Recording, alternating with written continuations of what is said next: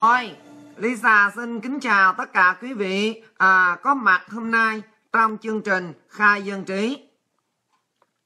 Câu hỏi được đặt ra chị Lisa ơi, chị có thể à, nói lên về vấn đề à, tại sao Đảng Cộng sản Việt Nam bán nước như vậy? Thì bây giờ mình như thế nào? Và mình sẽ vấn đề là có thể làm đơn để mà kiện được Đảng Cộng sản Việt Nam bán nước Việt Nam hay không?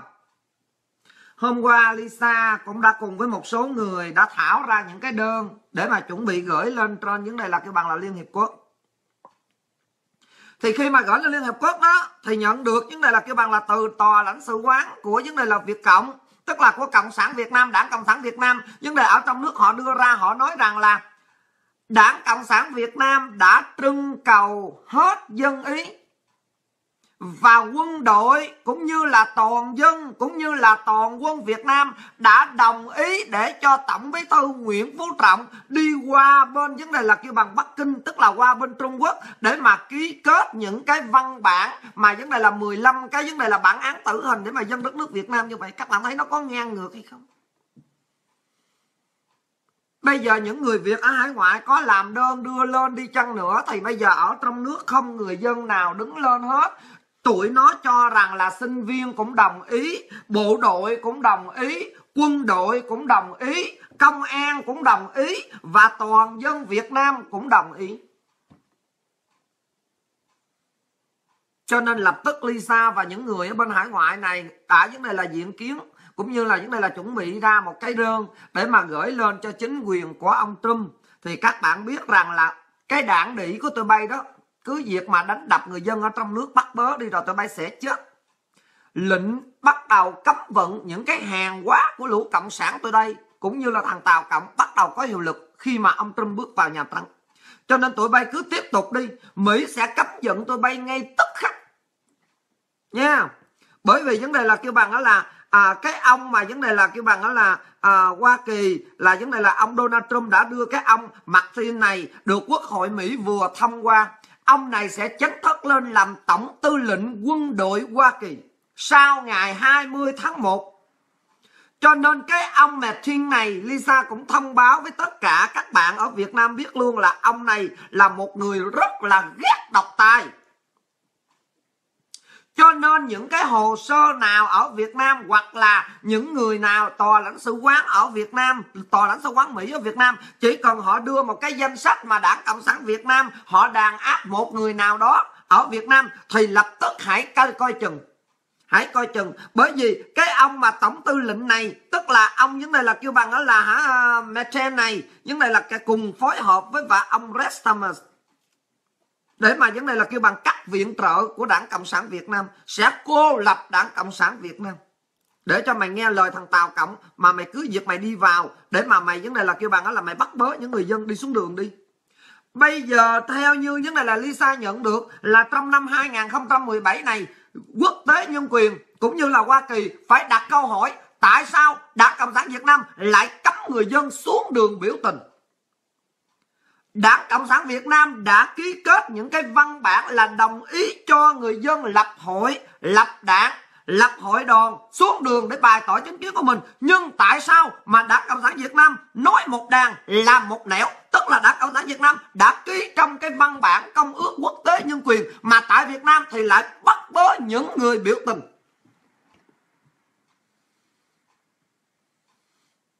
Cho nên các bạn cẩn thận nha. Cho nên các bạn ở tại Việt Nam, các bạn đừng có run sợ nữa, mà tất cả những bạn sinh viên và tất cả những người ở Việt Nam, các bạn phải mạnh mẽ, các bạn phải mạnh mẽ xuống đường xưa kia các bạn biết rằng đó, là sinh viên thời của miền Nam, Việt Nam, tức là Việt Nam Cộng Hòa, người ta không đồng ý cái gì người ta được quyền xuống đường biểu tình. Ngay cả sư sãi cũng xuống đường biểu tình. Ngày hôm nay thế kỷ 21 các bạn cập nhật ở trên những này là youtube các bạn thấy rồi. Sư sãi người ta bao vây nhau không một người cảnh sát nào của Việt Nam Cộng Hòa mà đụng tới họ một bạt tay thậm chí không dám chửi họ nữa bởi vì cứ để cho họ bao vây thành một cái vòng tròn, để cho vấn đề là ông, vấn đề là thích quản đất mà tự thiêu để phản đối chính sách của vấn đề là kêu bằng đó là Ngô Đình Diệm các bạn thấy không?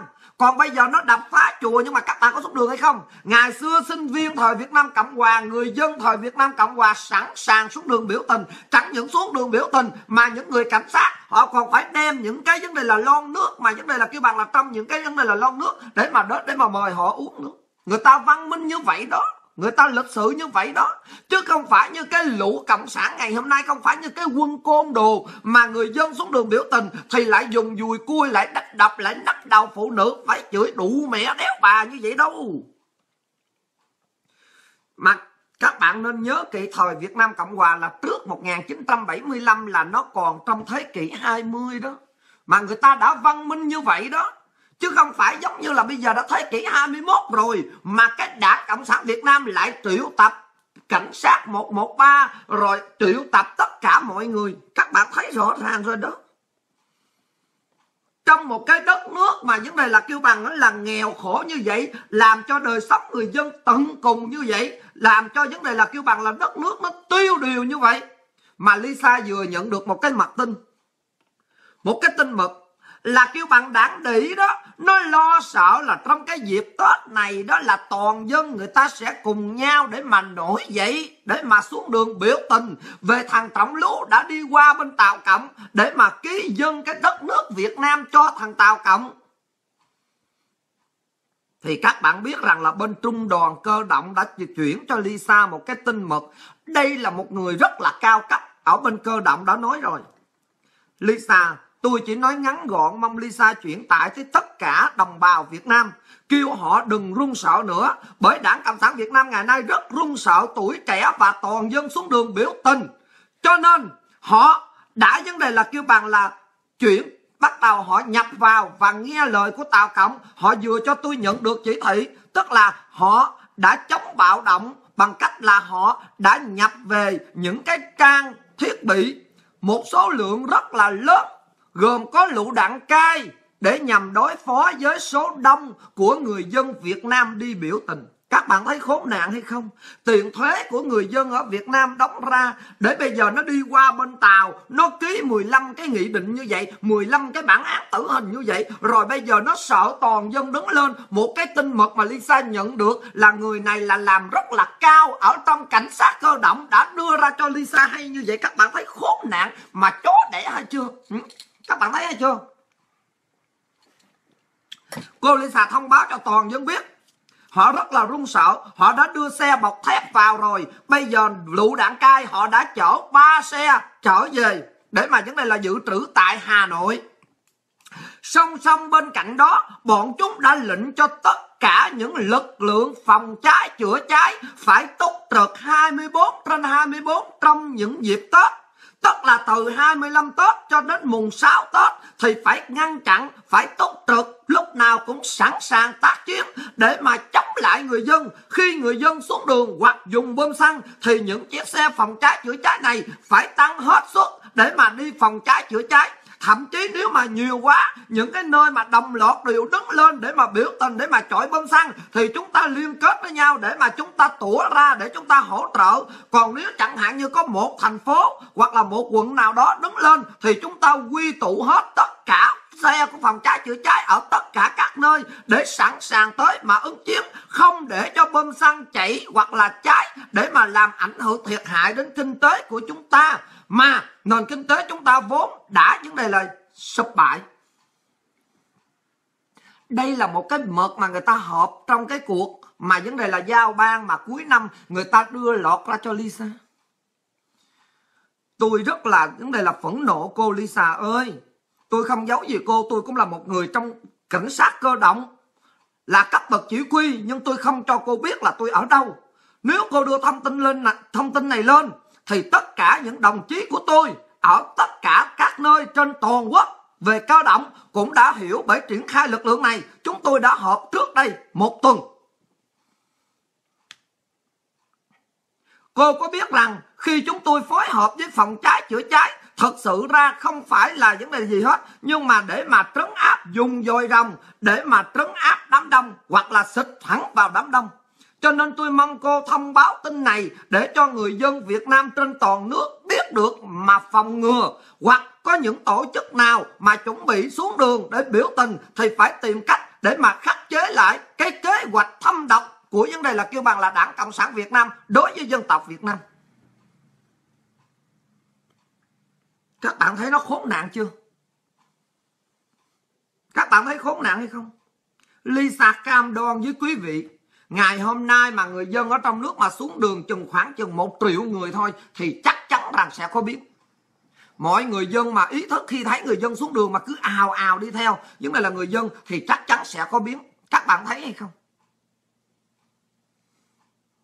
Còn nếu các bạn mà thờ ơ mà không xuống đường biểu tình thì kể như nước Việt Nam đã lọt vào. Vấn đề là bàn tay của Tàu Cộng. Lisa đã đưa cho, vấn đề là kêu bằng là những người em của Lisa đã vấn đề ở tại Việt Nam để mà đi trinh sát. Thì những đứa em của Lisa nó đã chở nhau trên một cái ờ, chiếc xe để mà nó đi công tác, cũng như là nó đi vấn đề là thị sát, về vấn đề là kêu bằng đó là đất nước Việt Nam của mình. Lisa đã đưa cho nó đi là từ Đắk Nông nè, để mà tới Đắk Lắk nè, để mà tới Nha, Gia Lai nè, rồi Nha Trang và Phan Thiết thì các em này đã kể cho Lisa nghe là chị ơi trên cái con đường mà tụi em đi thấy rừng Việt Nam gần như là bị tàn phá hoàn toàn nó không còn một cây rừng nào hết chị ạ à. Trời ơi, nhìn mà rất là đau lòng chị Lisa ơi. Dọc biên giới mà Việt Nam với Campuchia mà ở trên miền Trung đó, em ở bên đây có thể thấy được ở bên Campuchia. Chúng em thấy được bọn Tàu Cẩm nó đang thuê đất của Campuchia để nó trồng cao su hết rồi. Mà trong những cái rừng cao su này, có từng tốp từng tốp một. Em thấy rằng những này là cái bằng họ vận chuyển với nhau những cái vũ khí để mà sang sát sang sát với nhau. Không một người dân Việt Nam nào được bén mãn qua cái đất đó hết. Mặc dù bên đây nhìn thấy thấu ở bên kia.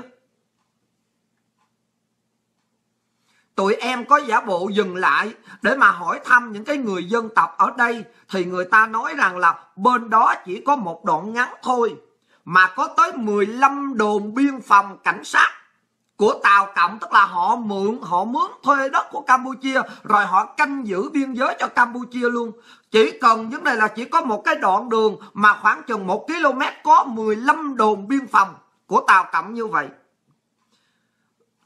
vừa bộ đội biên phòng, rồi vừa quân nhân của họ với đầy đủ những vũ khí hiện đại, lúc nào họ cũng quay thẳng vào đất nước Việt Nam cả. Chị ơi, rất là run sợ chị à nếu có chiến sự, thì bọn Tàu Cộng này chỉ cần bước một bước là có thể sang Việt Nam, không cần phải nói nhiều. Thậm chí bây giờ em cho chị biết rằng chị đưa cái tin là đào một cái đường hầm từ Lâm Đồng để đi đến Đồng Nai, chỉ là một cái đường hầm chắc thôi. Nhưng mà ở tại trên cao nguyên bây giờ, ở tại Đắk Lắk, họ đào tới ba bốn đường hầm ở trên những này là dùng, những này là kêu bằng đó là dùng ờ, ở Đắk Lắk, Gia Lai ở những này là Gia Lai công tâm lận chị à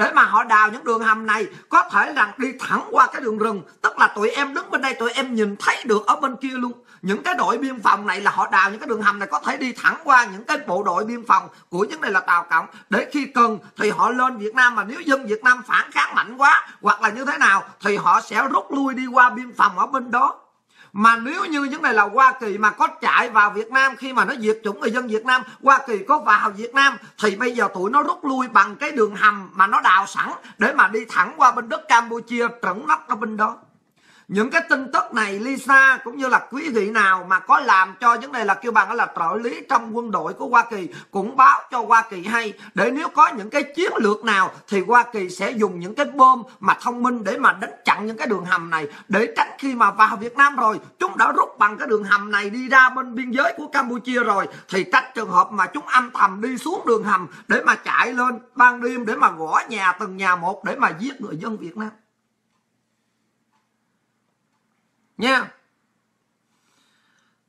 Bọn em đã lên tới buôn mê thuộc gia lai. Bọn em đã ghé quán ăn thì trời ơi chao ôi chị ơi, toàn là khách trung cộng không? Họ ngồi ăn la liệt, họ vỗ tay, họ vui mừng. Bởi vì ông tổng thống, bởi vì ông tổng bí thư, trọng lú đã vấn đề là ký 15 văn bản. Họ truyền tay với nhau, nói bằng tiếng tàu nói bằng tiếng Trung Hoa, mà em cũng biết chút đỉnh về tiếng Tàu, cho nên em nghe họ nói đại khái rằng họ vỗ tay ăn mừng, bởi vì bây giờ họ sẽ thông dong và đưa người ao ạt vào Việt Nam để mà du lịch, để mà ngồi ăn chơi, không sợ bất kỳ cái gì nữa. Bởi vì chủ tịch, vấn đề là tập cận bình của chúng ta đã bắt buộc buộc tổng bí thư nguyễn phú trọng đã cam kết là bảo vệ du lịch và du khách của người. Nhưng đây là kêu bằng là trung quốc.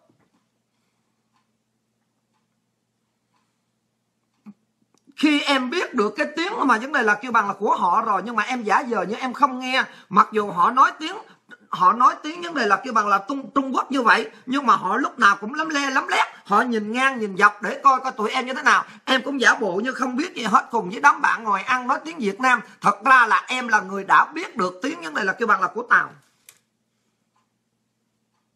Các bạn thấy nguy hiểm chưa? Sau khi họ ngồi ăn uống xong rồi thì em mới đi đến, em hỏi thăm một người chủ quán. Người chủ quán này cũng là người của vấn đề là Việt Nam của mình. Thì em có đến đó gạn hỏi, thì người chủ quán nói rằng, bọn nó qua đây đông lắm. Sở dĩ bọn nó lên trên đây ăn uống nhậu nhẹt ở đây bởi vì tụi nó đi buôn gỗ bởi vì kiểm lâm của Việt Nam đó đã to rập với nó để mà cho chặt hết những cái cây gỗ. Mỗi lần mà những cái cây nào mà chặt đó ở trong đất Việt Nam đó thì đều bán cho tụi này hết. Còn ở bên kia đó là của của vấn đề là người của họ, thuê đất của Campuchia để mà họ trồng. Những cái vấn đề là kêu bằng là cây thông thì không bao giờ Việt Nam dám bén mảng qua bển, bởi qua bển là họ sẽ vấn đề là kêu bằng là bắn ngay bởi cho nên họ đang kết hợp với biên phòng của Việt Nam để mà khai thác bán gỗ các cậu ơi. Trời ơi, em nghe mà em đau lòng vô cùng chị ạ. À. Rồi bà bà chủ quán còn nói tiếp với em. Chẳng những chúng tới đây vỗ tay ăn mừng, mà bây giờ càng ngày chúng càng vui vẻ nữa. Có lần con tôi đi đến những cái đường hầm mà chúng đào thì chúng lại đuổi ra và chúng không cho đi đến cái đường này. Tôi nghe nói rằng ở dưới đường hầm đó có rất là nhiều đồ quân phục của bộ đội Việt Nam cũng có, của công an cũng có, của cơ động cũng có. Không biết tại sao mà họ có nhiều đồ đạc như vậy. Có thể họ giả dạng họ mặc vào để rồi từng đêm từng đêm họ gõ cửa nhà để kêu mọi người ra để họ bắt đi rồi họ xử tiêu ở ngoài đám rừng đó. Những đường hầm này cũng có thể là họ gõ đó, những nhà để bắt con cháu của tôi đi xuống đường hầm để mổ lấy nội tạng. Tôi run lắm mà ở đây tôi không biết làm gì cả. Bởi vì ở tại cánh rừng này giáp biên giới bên kia gia đình tôi ở đây run sợ lắm. Cháu con tôi tôi đã dời cho nó đi vào trong tỉnh ở hết rồi. Tôi già cả rồi, chỉ ngồi đây buôn bán để kiếm tiền thôi. Cậu các cậu ơi. Chị thấy không? Rất là đau lòng chị ơi chúng nó cứ đổ thừa cho người dân là phá rừng nhưng mà thật sự là một sự đau lòng như vậy đó nếu ai ai đã từng đi lên cái khu buôn mê thuộc này thì chị cứ hỏi đi mọi người dân việt nam kêu họ cứ đi lên trên đây để mà nhìn coi những gì tụi em bọn em nói có đúng sự thật hay không Chị ơi, đây là một điều sự thật mà em đã chụp hình cho chị coi rồi. Đúng rồi, Lisa đã coi. Trời ơi, thê thảm quá. Các bạn ơi, nhìn những tấm hình mà những đề là những người em ở trong nước nó đưa cho Lisa. Cho Lisa rất là đau lòng. Sự thật là chúng nó đã bán cho bọn Tàu Cộng hết rồi chị à. Chúng nó đã phá sạch, đốt sạch rừng của Việt Nam rồi chị ơi. Hu hu hu hu hu. Ừ. Rồi bọn em buồn quá, kéo nhau về tới Nha Trang. thì hỏi ơi, khách du lịch ở tại Nha Trang toàn là Tàu Cộng. Họ cũng y như ở tại Buôn Mê Thuột, ở tại vấn đề là Đắk Lắk, Cao, Tây Nguyên tất cả những bản hiệu ở tại Nha Trang, nó còn hoành tráng hơn ở đây nữa chị à. Thật đơn, em vô đó em thấy toàn là ghi tiếng trung cộng không? Những cái quán còn không thèm những khách hàng là người Việt Nam nữa. Em mới giả vờ em nói một câu tiếng tàu với chủ quán thì những người chủ quán này mới cho bọn em vào. Em cũng nói nhỏ với bọn của em rằng chỉ biết được vài tiếng tàu. Ni hao ni hao mà hao hào. Con chỉ khờ khờ khờ khờ để đi vào để mà ngồi trên cái bàn để mà ăn thôi chị ơi. Thậm, thậm chí em liếc mắt qua nhìn coi bọn tàu cộng bên kia tụi nó lại tung tiền xài rất là lạ. Hỏi ra mới biết đó là đồng nhân dân tệ chị à. Chị Lisa ơi, bọn em rất là đau lòng, bọn em là sinh viên mà bây giờ không biết làm sao. Bởi vì người dân bây giờ quá thờ ơ, họ đã nhìn thấy được mà họ quá run sợ, họ không làm gì được. Bởi tình báo qua Nam đang khống chế toàn bộ chị à. Trên báo chí, trên đài thì cứ kêu gọi như vậy đó, chị thấy rồi đó trên đài thì kêu gọi là bảo vệ toàn vẹn lãnh thổ, nhưng mà sự thật thì đất nước Việt Nam đã rất là đau đớn, chị ơi. Chị có biết không? Bọn chúng xài đồng nhân dân tệ của nó trên đất nước Việt Nam này thông dong luôn đó chị. Tới lúc này thì bọn em buồn quá, không chịu nổi, nên đành về khách sạn nghỉ. Tụi em nằm buồn lắm mới lên Facebook coi chương trình của chị, mở đài radio. Thì trời ơi, toàn là nghe đài, tiếng của người Trung Cộng không chị ơi? Chị hỏi những người Việt Nam bây giờ đi, ở Nha Trang toàn là tiếng Việt và tiếng Trung không? Có vừa tiếng Việt mà vừa tiếng Trung Cộng luôn. Chúng nó tuyên truyền về đất nước Trung Cộng cao đẹp và trước đây là đất nước của Trung Cộng mà những người không biết tiếng Trung người ta không hiểu được, nhưng em là người biết tiếng Trung, cho nên em thấy trong những cái tivi và truyền hình, họ đều tuyên truyền cho vấn đề là kêu bằng là Trung Cộng cả, chị à. Và đảng Cộng sản Việt Nam, chị à. Nghe mà tất muốn đập cái điện thoại luôn, chị á. Hỏi thăm chủ khách sạn, thì người chủ khách sạn cho biết rằng, chương trình này nó phát lâu rồi. Trời ơi, ở tại Nha Trang này đó theo như là tôi cũng biết tiếng Tàu chút đỉnh, cho nên vấn đề là lị hỏi.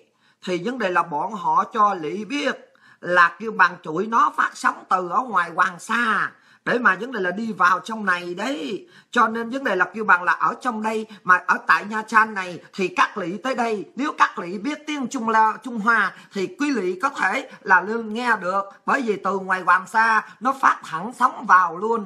Các bạn thấy đau lòng chưa? Rất là đau lòng. Ừ, nó phát sóng vào luôn. Thế là bọn em chỉ nghe được có chút đỉnh vài câu tuyên truyền rồi thôi em không nghe nữa. Em đành về phòng ngủ. Chị biết chuyện gì xảy ra không? Em cũng nghe lời chị thôi mình nhẫn nhịn để đi khảo sát. Và vấn đề là kêu bằng đó là khảo sát cũng như là đi để mà do thám về cho chị hay. Vừa về đến phòng thì em thấy một nhóm người trung cộng. Họ cười nhau hú hí. Họ ăn nhậu với nhau xong rồi họ lên họ nhận phòng. Mà phòng đó kế bên phòng của bọn em luôn tụi nó đi nhậu tới một giờ sáng mới về đó chị. Trời ơi, bọn Trung Cộng đi tới đâu thì ồn ào tới đó chị ơi. Nó nhậu sai rồi nó về nó mở nhạc ta nói không thể nào chịu nổi chị à. Chèn bằng tiền. Trời ơi, nó mở ta nói biết ta chị à. Em qua không có chịu nổi, em qua yêu cầu nó. Em nói, tại vì em cũng biết tiếng Trung. Cho nên em qua em nói lịch sự với nó thì nó tắt được 15 phút sau đó không biết thằng nào bên đó nó điên lên nó đập đập rầm rầm rầm trong khách sạn rồi nó bực tiếp lần này chịu không nổi nữa bọn em kéo nhau qua bên bển nói tối rồi, tụi tao ngủ, tại sao như vậy? Thì bên kia nó cũng hung hãn, nó xông lại. Trời ơi, thằng nào thằng nấy cởi áo ra xăm mình, trổ đầy hết chị ơi. Cung tay đòi đánh lại bọn tụi em luôn. Đang cãi nhau thì quản lý khách sạn lên can ngăn. Anh ta nói đừng đừng có dây dưa với bọn nó. Thậm chí kéo em vào, người chủ khách sạn nói, mệt mỏi lắm, đừng có dây dưa. Hôm trước cũng có những người ra đây dây dưa rồi, đã bị công an mời đi rồi cho nên thôi, đừng có dây dưa kệ nó, muốn làm gì làm đi. Em tức quá, em la cãi lại với người quản lý luôn. Nhưng em quyết không nhịn, em làm tới luôn. Lúc này người quản lý khách sạn làm thinh không nói gì. Bọn tàu cộng nó nhìn người quản lý, giống như nó tưởng rằng người quản lý binh vực tụi em. Lúc này em thấy có một người ở trong nhóm của nó đã lấy điện thoại ra gọi cho ai đó bằng tiếng Trung Cộng. Sau đó tiếng Trung Cộng nói lại và thông dịch em nghe có tiếng Việt Nam. Thì chị ơi, chỉ có 5 phút sau thì công an đã ập tới khách sạn. Chưa biết việc gì, chưa biết sự việc như thế nào. Công an đã đòi đưa tụi em đi về phường hết. Bọn tụi em gồm có 6 người, họ yêu cầu phải đi về phường. Em quay qua hỏi tại sao đưa chúng tôi vào phường họ mở nhạc lớn như vậy thì công an phường nói rằng không cần biết bởi vì bảo vệ cho du khách người Trung Quốc cho nên các anh không cần phải gây gỗ với họ. Chỉ cần các anh nói chuyện gây gỗ thì sẽ mời các anh về. Bọn em không chịu nổi, bọn em ngồi cự cãi với công an. Thế là công an giải quyết như sau. Bây giờ nếu các anh mà không chịu ở đây thì các anh trả phòng, đi tìm khách sạn khác. Còn nếu các anh còn muốn ở đây thì các anh phải chấp nhận để cho du khách của Trung Quốc họ mở nhạc, họ ăn chơi tới sáng đêm. Lúc này em chịu không được nữa rồi, ức quá em đành phải quay về trong đêm và em trả tiền phòng để đi tìm khách sạn khác. Sau đó cả một bầy gần hơn 13 người Tàu Cộng họ vỗ tay với nhau cười, người thì còn mặc quần tây cởi trần, kẻ thì mặc quần sọt, cởi trần người thì còn mặc cả quần tây và quần sọt đứng ra nói xí xô xí xào tiếng tàu cộng rồi dỗ dai công an phường cũng như người quản lý khách sạn rồi họ còn ra biểu hiện như là chọc tức bọn em vậy đó chị. Cho nên thôi, đó là những gì mà em đã, vấn đề là đi để mà do thám cho chị. Em mong rằng chị kể cho tất cả mọi người nghe. Và nếu các bạn ở việt nam không tin, thì các bạn cũng làm một chuyến du lịch như em để đi ra nha trang hoặc đi lên vùng đắk lắc buôn mê thuột. Rất là đau lòng tức là bây giờ các bạn ở Việt Nam mà các bạn mướn khách sạn mà hay là lại lần mà các bạn đụng đó là coi chừng chỉ 5 phút sau nó gọi điện thoại thôi. Là kể như là công an sẽ đến không cần biết đúng sai, bắt các bạn hoặc mời các bạn về phường nói chuyện đi. Còn nếu các bạn trong tương lai mà đánh một cái người du khách của Tàu Cộng thì các bạn còn lớp chuyện nữa chứ không phải giỡn mặt đâu. Bởi vì trong những cái trung ương của đảng Cộng sản ngày hôm nay là tình báo của Hoa Cộng nó đã dày đặc ở trên trở nó trơn rồi cho nên những người ở Việt Nam nói, Lisa, trời ơi, tại sao bây giờ không thưa gửi? Lisa, thưa gửi làm sao đây? Bây giờ thưa gửi đi ra rồi Liên Hiệp Quốc đi vào lạng quạng nó lại tới từng nhà nó kêu mọi người phải cầm súng lên để mà đánh lại Liên Hiệp Quốc luôn nữa, tức là bảo vệ tàu cộng luôn đó. Thì làm sao?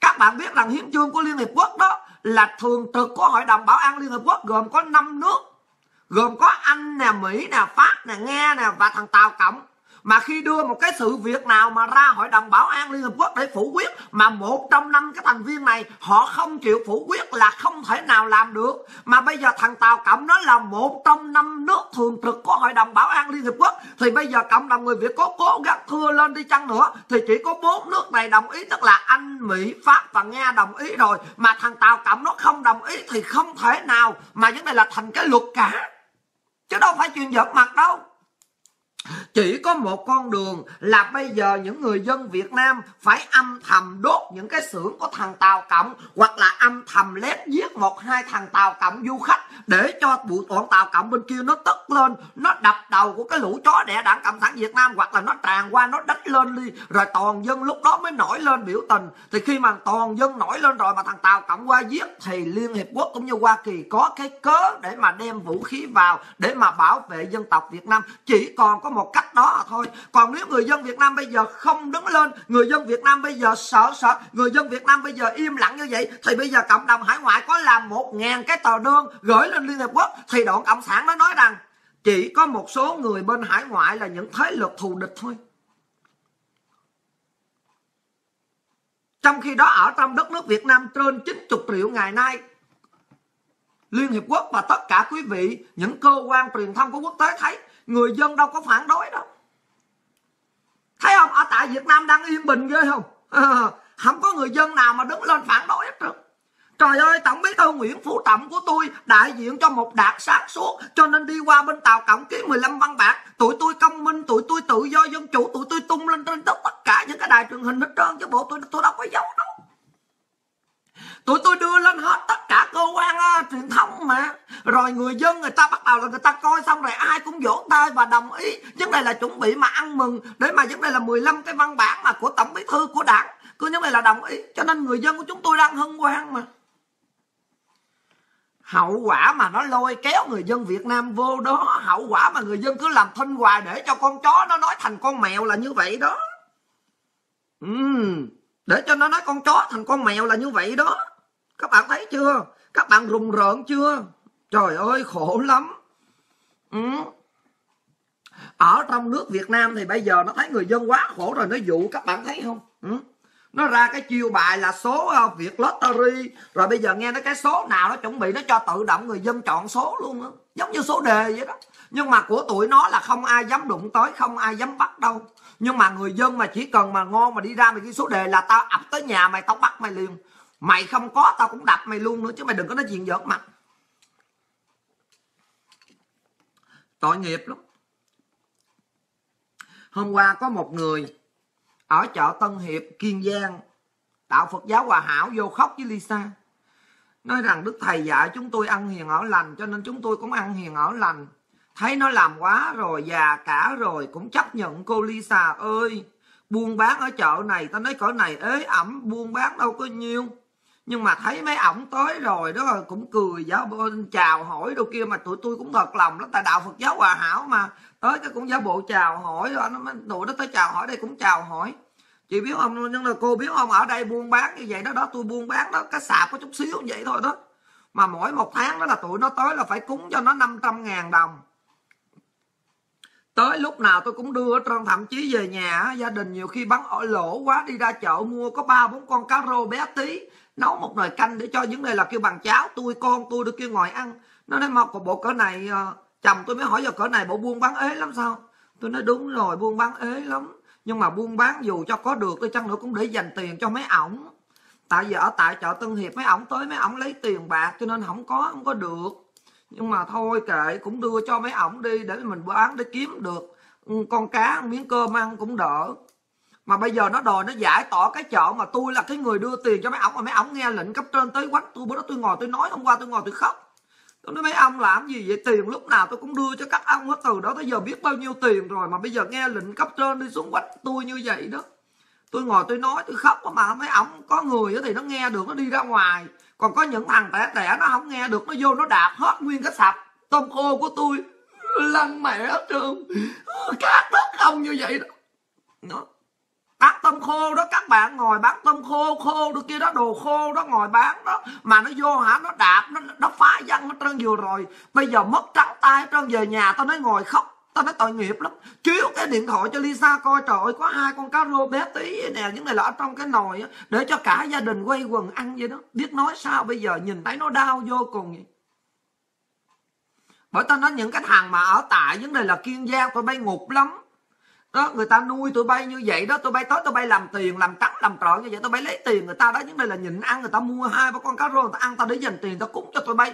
Bây giờ tụi bay nghe lệnh cấp trên tới tụi bay, những đây là cái bằng thượng cẳng tay, hạ cẳng chân, tụi bay đánh đập như vậy. Tụi bay đánh hết đi, đánh cho chết hết những cái người dân ở chợ Tân Hiệp đi. Rồi để sau này coi cái đảng đỉ nó có gửi tiền vô cho tụi bay hàng tháng không? Tụi bay ngục lắm người dân cùng chung bản số mà tụi bay nghe lời cấp trên tụi bay có nghe lời nó thì tụi bay tới tụi bay cũng giả bộ tụi bay nương tay đi tụi bay đã xè tay tụi bay ăn tiền người ta quá trời rồi mà tụi bay cũng nhẹ nhẹ chứ ai đâu mà tàn nhẫn vô nhân đạo đó bây giờ bác không còn buôn bán cho ai nuôi tụi bay đây sau này coi đảng đỉ nó có nuôi tụi bay không thằng tàu nó tràn vô rồi trong tương lai tụi bay tới tụi bay dám làm vậy hay không những cái cơ sở của thằng tàu mai mốt nó tràn lan ở nước việt nam tụi bay dám tới mà tụi bay kêu nó đưa tiền tụi bay cái kiểu đó không dám không hả? Mà bây giờ người dân Việt Nam người ta nghèo khổ như vậy, người ta buôn bán, người ta kiếm tiền ta nuôi cho tụi bay ăn mập thay mập tay như vậy, mà tụi bay nhận được lệnh cấp trên là tụi bay quánh tàn bạo người ta như vậy. Một cái đổ tôm khô ta nói đổ đổ trơn. Bà ngồi bà khóc tới tội nghiệp chứ tội dễ sợ luôn. Đi xà nói thôi, đừng khóc nữa. Thôi đi kệ nó nên làm vậy nó giờ hết trơn rồi, nó tôm khô mới lấy về, còn thiếu nợ người ta, tại vì người ta đưa mình hàng sĩ mà ta đưa chứ người ta lấy tiền gói đầu á. Mà Lisa không biết gói đầu là gì nó nghe nghe nghe nghe vấn đề là bác nói gói đầu thôi. Chứ Lisa tới giờ nghe thì ừ ừ hử chứ không biết gói đầu là gì. Nó còn thiếu nợ là người ta, bởi vì người ta đưa hàng tới gói đầu như nó đạp một đứa nó mẹ hết cho tôm khô ra ngoài đường. Không còn một con nào chứ. Giờ ông buôn bán cho mất nợ hết trơn. Bây giờ còn thiếu nợ ngược lại người ta nữa. Có ác không? Tao nói khô đồ, cái đồ khô nó liếm ra ngoài nó liếm nó bỏ trơn mà mỗi một tháng là bà nói rằng đó là bà dắt cấp ca, cấp cụm để mà đưa 500 ngàn cúng cho tụi nó rồi đó. Cúng cho cái tụi ban quản lý chợ rồi đó. Mà bây giờ nó nghe lệnh cấp trên, ban quản lý chợ cùng với công an, cùng với những cái tên khu vực ở đó để mà đánh đánh những cái người dân ở chợ Tân Hiệp này, phải liên đồ người ta ra đường như vậy đó, phải tàn nhẫn vô nhân đạo, phải triệt cái nguồn sống như vậy đó coi coi coi, coi chó đẻ hay không? Tụi bay làm đi tụi bay giết hết tại dân nhất này là tụi bay nghe lời cấp trên của cái thằng tàu cộng đó. Nó ra lệnh tụi bay giết mẹ hết người dân ở tại nhất này là chợ tân hiệp luôn đi. Rồi để sau này coi ai ai, ai, ai, mà đưa tiền cho tụi bay ăn giọng nữa đồ cái thứ ngu. Tụi bay làm đi. Rồi thằng cấp trên nó cho tụi bay ban thủ tụi bay được có một lần một thôi. Mỗi thằng được 200 ngàn tiền thưởng là ra tay đất đập người dân đi. Rồi tụi bay cầm 200 ngàn tụi bay ăn tới già tới chết đi đồ cái lũ đầu bò cái lũ ốc chó ở chợ tân hiệp có cái lũ mà công an ở, ờ, ở chỗ này là Tân Hiệp nha Kiên Giang cái lũ tụi bay cái lũ súc vật cái lũ chó nhưng mà là cái lũ người. Đồ cái lũ trâu bò. Thấy bà ngồi bà khóc Lisa chịu không có nổi. Bà ngồi mà bà khóc Lisa bà ngồi bà khóc bà ngồi bà kể trời Lisa mỗi lần nói chuyện xong là người ta gọi tới Lisa. Bằng những này là cái bằng messenger đó có đứa con đó nó lên nó coi chương trình nó cho Lisa ngồi. Mà bà nằm ở trên cái võng cho Lisa coi luôn thì sao thấy tội nghiệp quá à bà ngồi rồi, rồi ừ, ừ, Lisa nó thôi cả nhà ăn cơm đi. Nó dạ mời cô Lisa ăn cơm. Tôi nói ừ thì giờ cũng ăn vậy cũng ngon vậy. Mà trời ơi nhìn vô cái tô canh tao nói hả nó lĩnh lạng nước mà có hai con cá rô đồng. Để mà cho cả nhà ăn tại bây giờ tiền bạc không có nó đổ mẹ nó tao nói là một cái người mà bán khô đó. Bán khô bán tôm khô mà bây giờ nó vô nó đập nó phá tao nói bà thì bà sợ bà cống rắn bà ôm nó giật trên tay bà nó liệm hết. Cái thằng công an mà bà nói nó tên thằng gì? À, thằng à, thằng hùng. Bà nói thằng hùng á, ai cũng sợ nó trơn ở tại vấn đây là cái bằng công an ở khu vực đó đó. Nó tối hả? Tôi nói bà đang già, bà đang lum cum lum cum bà chuẩn bị bà ôm. Nó cầm nguyên cái rổ tôm khô của bà, tại vì tôm khô để con ngon lên trên mặt không à. Nó cầm, nó rẽ một cái ra ngoài đường vậy nè. Nó luyện mẹ ra ngoài đường hết trơn. Tao nói khô sạch khô đồ của bà, nó đạp văng hết trơn, nó đập hết trơn. Tao nói đất sình không như vậy, làm sao mà mua ăn đây? Trời ơi, khốn nạn lắm các bạn ơi Tao Lisa nói thiệt, có nghe kể đời sống Việt Nam bây giờ thật thiệt tình ừ? Ừ? Chị Lisa ơi, chị biết tin gì không Vui như ngày chảy hội, chị ơi Tụi dư luận viên mặc dù nó chửi chị như vậy, Chứ bây giờ nó sợ tay hết trơn rồi Chương trình của chị, vấn đề là kêu bằng là đưa lên, Bây giờ tụi nó vấn đề là giàu, nó chửi Nhưng mà nó sợ lắm, chị ơi ừ. Ừ. Ừ. Tội lắm Trời ơi, tội nghiệp lắm ở chợ Tân Hiệp. Người ta kể cho Lisa nghe, Lisa đau lòng lắm. Lisa hỏi tại sao mọi người không đứng lên? Lisa hiến kế này nó trời ai dám đứng lên đâu, cô ơi. Ở đây dân sợ dữ lắm, không ai đứng lên hết trơn á. Ai ai cũng giống như là người mà chịu vấn đề là nghĩa vụ vậy đó, cô ơi. Đảng Cộng sản Việt Nam nó huấn luyện ở đây, thậm chí những tên công an ở đây nó huấn luyện người dân ở trong cái chợ Tân Hiệp này, y như là nó huấn luyện một con chó xiết vậy đó hệ tới mà nó chia ra ví dụ như là từ chỗ chỗ, chỗ của tôi đó là một dãy đó là năm năm tiệm thì nó đi tới bữa nay rồi ngày mai nó đi tới năm chỗ khác tức là trong vòng một tháng trời đó là nó quy hoạch trong cái khu chợ nó đi tới năm mỗi một ngày là đi tới năm nơi năm nơi cứ một tháng trời là quay lại tôi đúng ngày đúng giờ luôn. Tới là cứ việc tôi đưa 500 ngàn à, anh sáu kế bên bán hột dịch đưa 500 rồi mọi người dài dài mà đưa 500 500 mà nó vô nó lấy hết trơn bên kia người ta có thanh niên đôi khi người ta người ta biết trước, người ta đem một dịch, người ta giấu lên lầu hết trơn. Tôi với đây là kêu bằng là già cả rồi, nó vô nó liệm hết trơn hết trời. Ừ. Trời ơi, nó giả mang chưa? Bạn thấy không? Ừ. Quá trời, quá đất tao nói vui lắm. Đó, cái xã hội việt nam bây giờ đó, các bạn ngồi không đi, đó, các bạn ngồi đó đi đó là các bạn cái này là nghe. Rồi còn những cái lũ mà trẻ trâu ở trên đây, không biết con mẹ chân, tưởng đất nước thanh bình, đó, thanh bình lắm tôi bay đi đi. Đó, nè, cái cái lũ dư luận viên chó điên, trẻ trâu tôi bay kìa, đi ra ngoài. Vấn đề là những cái nơi mà, vấn đề là lisa mới kể đi. Đó, những người của lisa đã đi rồi, đó, đi ra đó đi để coi rồi vô đó dám gây lộn với thằng tàu cộng không? Vô khách sạn đi biết liền gì? À, đó nó đang ăn nó ngồi nó nói xô xích xào trên bàn nhậu. Bây giờ nó đi ngang đi lạng quạng nó lấy nước nó tạt vô mặt luôn đó chứ đừng có bà đặt. À, vui mà. Ừ, ừ tâm nói trời đất nước việt nam vui lắm bây giờ ai, Việt Nam gặp Lisa giỏi Việt Nam có Lisa vỗ tay ha, bắt đầu là vỗ tay nha. A nghe về nghe yeah nghe về cộng sản. Một bầy chó đảng trọng lú nó dẫn đầu. Bắt trước thằng Minh à, rau vừa ngu vừa ngục cúi đầu chịu nhục luồn cuối thằng tàu.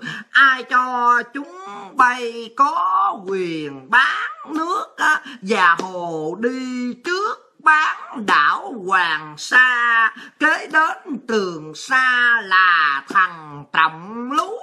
Một bè, một lũ phản nước cầu dinh. Tội cho dân mình trăm điều ác cho hồ ăn cướp mà bảo nhân danh. Đảng bắt cái nhân dân phải thờ tôn kính. Một thằng, từ một thằng lính cho đến thằng quan. Đảng suối công an giết người nhận thưởng. Học tập tôn vinh tư tưởng, chó chết à. Nó tao trong tương lai như vậy là vui rồi không? Ừ. Ừ. ừ trong tương lai là các bạn yên tâm đi nha ừ. à, học tập à, tôn vinh à, tư tưởng chó hồ bở đích à, liếm vô cho thằng tàu cộng. Lưới trời lòng lộng khó thoát ti thưa dân mình tỉnh chưa cùng nhau mà nổi dậy. Ta giao tay gậy thề quyết xuân phong nhất trí một lòng đập ma tan đảng chó đảng chó cái là đảng chó đảng đỉ cái là đảng đỉ đuổi khỉ về rừng để dân hài hòa. Tại vì cốt trong khỉ mà cho nên đuổi khỉ về rừng để dân ta mà thái bình đó. À, nghe dĩa nghe dễ mà tao nói vui ghê không? Vui ghê không? Trời ơi. Ừ, ừ. Chị ơi, dân chặn quốc lộ đòi Nguyễn Phú Trọng phải ói ra tượng vàng 500 kg của thằng Formosa. Uhm. Uhm, vui mà, tao nói càng ngày càng vui mà. Uhm, rồi, à, tới tiếp tục nó đây, cái gì đây? Uhm. Chị Lisa ơi, em nghĩ rằng toàn dân Việt Nam đứng lên lật đổ chính quyền là không thể xảy ra đâu chị à bởi vì em thấy người dân hiện, Việt Nam hiện nay chỉ lo cơm ngày hai bữa chứ không được ba bữa đâu chị ơi. Chiều về nghỉ ngơi quanh năm suốt tháng. Như vậy, họ làm ngày nào ăn ngày nấy. Còn ngày mai có bệnh tật gì thì lại đổ lỗi do trời. Trời kêu ai nấy dạ chứ không nghĩ rằng do thực phẩm độc hại của thằng Tàu Cộng gây ra. Cho nên Việt Nam có thay đổi từ khi chỗ dựa Bắc Kinh sụp đổ hoặc nội bộ trong đảng, sẽ có người nhìn thấy sự đau khổ của người dân đến tận cùng để mà họ kêu gọi đứng lên hoặc là thế lực nào đó thôi, chứ không thể nào trông chờ vào người dân được đâu chị à. Trông chờ vào toàn dân Việt Nam làm nên lịch sử là chuyện không thể nào, bởi vì ngày nay dù cho Tàu Cộng nó có tràn qua, nó giết chết, nó bắn từ người từ người một cũng chấp nhận.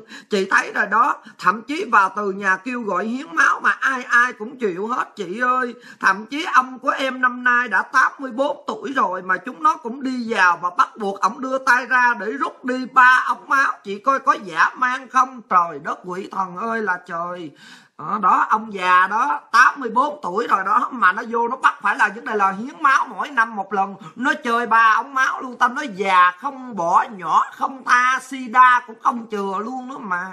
Tao nói ghê gớp thiệt tình đó trời quỷ thần thiên địa ơi một cái đất nước tao nói quá ư là vấn đề là đau đớn rồi ha. Chị Lisa ơi hết giờ rồi kìa chị. Ủa hết giờ rồi hả? Ồ ok rồi. Xin cảm ơn quý vị. Tóm lại, chương trình hôm nay là Tàu Cộng đã dày đặt ở tại Việt Nam và Tàu Cộng đang xây những cái đường hầm và thuê những cái đất ở bên Campuchia để họ dùng cái bàn đạp đi qua Việt Nam bất cứ lúc nào. Mạng sống của người dân Việt Nam đang treo ở trên sợi chỉ trước mành cho nên mong rằng tất cả những người dân Việt Nam và những người nào ở Việt Nam cẩn thận những người nào ở những cái khu vực như là ở tại những cái khu mà giáp ranh biên giới coi chừng họ đã chuẩn bị những cái quần áo ngụy trang là quần áo của cảnh sát cơ động của bộ đội của dân phòng của công an để mà họ gõ cửa từ nhà. Có thể họ mời đi ba bốn người để họ mổ nọc lấy nội tạng trong vòng nay mai thôi. Cho nên người dân Việt Nam cẩn thận nha cẩn thận thật là cao độ. Ừ. thôi Lisa xin cảm ơn tất cả quý vị. Kính chúc tất cả mọi người à, một ngày. Những này là chủ nhật yên bình cầu nguyện cho đất nước Việt Nam của mình. Đừng có đau thương nữa. Đừng có máu đổ thành sông và đầu rơi xuống đất. Lisa rất là đau lòng khi mà nhìn thấy toàn dân tộc Việt Nam như vậy. Mặc dù Lisa ở bên đất nước Hoa Kỳ này, nó cao sang, nó quyền quý rồi. Cho dù thằng Tàu Cộng nó có lấy nước Việt Nam thì cũng không có ảnh hưởng gì đến Lisa. Nhưng mà nhìn lại hơn 90 triệu người dân Việt Nam nói tiếng Việt Nam cùng màu da với mình. Mà bây giờ phải chịu đắp chìm ở trong cái địa ngục như vậy, phải chịu làm nô lệ ở ngay tên xứ sở của mình. Để cho những du khách của Tàu Cộng qua làm cha, làm ông nội như vậy, những em sinh viên, những tuổi trẻ, nó chỉ có đi chơi, nó đi phượt thôi. Mà nó nhìn thấy như vậy, nó kể cho Lisa nghe, thật là đau lòng, không thể nào tưởng tượng được một đất nước Việt Nam toàn vẹn lãnh thổ như đảng riêu rao mà lại bị một cái hoàn cảnh thê lương như ngày hôm nay. Nha thôi à, nửa đêm gà gái mà gà mái biết gái là thiên hạ đại loạn năm nay là năm con gà các bạn cẩn thận đi. Nha à, coi chừng máu đào lệ rơi. Xin cảm ơn tất cả mọi người. Kính chúc quý vị à, thật là vấn đề là may mắn cũng như là kính chúc quý vị à, mọi người phải biết thương yêu nhau đùm bọc nhau để bảo vệ à, con người Việt Nam cũng như là dân tộc Việt Nam này. Xin cảm ơn tất cả.